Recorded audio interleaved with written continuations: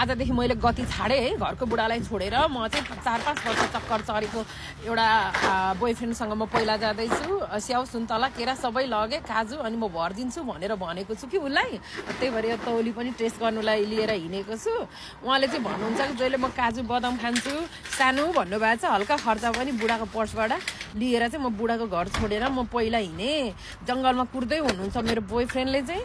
ल माया भनेको अन्ध हुन्छ होला कि कस्तो एक्साइटेड छु। कस्तो हुनुहुन्छ होला उहाँ चाहिँ होइन? बुढाको घर छोडेर हिँडेको मान्छे हो क्या मान्छेलाई एउटा चप्पल हातमा लिएर नि भागेँ। ओहो ल यहाँनिर चाहिँ बार बारेको रहेछ फलामको ढुक्का भनेको चाहिँ केही पनि होइन के? माया प्रेमको अगाडि।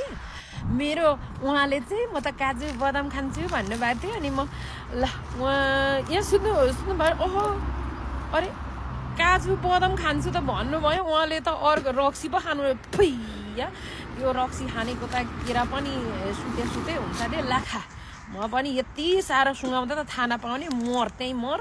तँ जस्तो त मेरो बुढा कति हिरो हिरो। फुइया